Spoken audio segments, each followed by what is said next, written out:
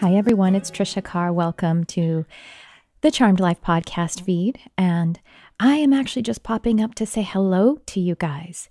Yes, it has been almost two weeks since I put up a podcast, and that is the very first time I've gone that long without putting up a podcast. So I wanted to hop up here and say hello. I've been thinking about you guys. And I also wanted to let you know that I do have a, a, great episode coming out for you tomorrow. Well, perhaps it's today, depending on when you listen to this. So just keep your eye out. And I wanted to let you know that also upcoming on the podcast, I have some great interviews, amazing interviews. And I have some other cool projects for you, like some audio recordings of affirmations. Actually, it's a different kind of affirmation called decree. I'm going to be doing a series on that. I have all kinds of things coming up for you. But I definitely wanted to pop on today and just tell you that I am thinking about you all. I just needed a little R and R, and I'm sure I'm not the only one. For me specifically, I was doing the uh, channeling intensive with my best friend Crystal Ann Compton.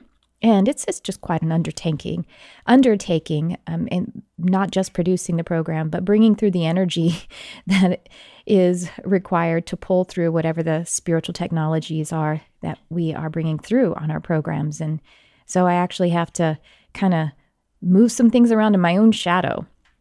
And that just results sometimes in fatigue and some extra self care. And I hope that you are doing that as well because, boy, oh boy, ain't we having some times right now. And I wanted to say that truly I do appreciate you and I am praying for you, even if we don't know each other literally. I do know you energetically. And I want to give us all myself and you permission to take care of ourselves extra specially because wherever you land in the social political climate, or let's just say the political climate, I think it's quite obvious that we've been living under some emotional abuse. What we have been witnessing in our media, the words that we have been hearing, the words that are contrary to love, because, you know, love is patient, love is kind, love never boasts. And we have been hearing quite the contrary.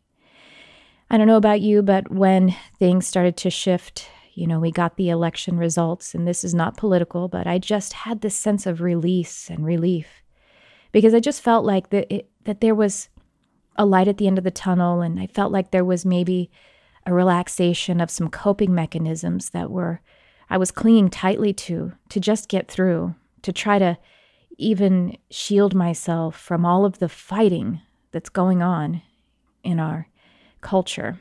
And of course, I'm speaking from the perspective of being a person who's living in the United States, but I think pretty much in the English speaking world, whether you've witnessed it or you've been paying attention closely, it's just been in the ether and it's been in the emotional and mental atmosphere. So I'm holding space for you and with you, and I thank you so much for shining your light on our beautiful world.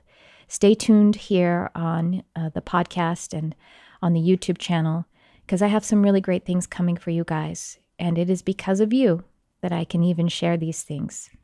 Thanks for tuning in. I love you, whoever you are.